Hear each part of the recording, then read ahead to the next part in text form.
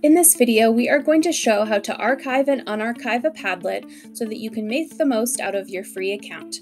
So here in our Padlet account, we have our made section where we have the Padlets that we've created. We also have our archived section where we have the Padlets that we have already archived. In the lower left corner, you can click on the three dots and it will bring up your Padlet usage and it will show that we have four out of the three Padlets that we have access to in the free basic account. So we will need to archive at least one of these Padlets to be able to use them um, with students. So click on the three dots next to the title and choose archive. And you'll see now we have three out of three, so we can actively use these Padlets with students and add responses to them.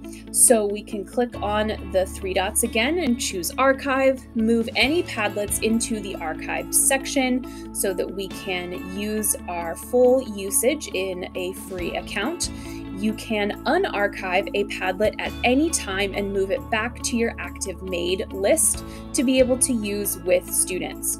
So you can create as many Padlets as you would like and store them in the archive section and bring them active by clicking the three dots and unarchive them as needed. So you can take advantage of the three active Padlets and share those with your students as needed, and then archive when you have completed that assignment, and then unarchive whenever you need to use that Padlet again.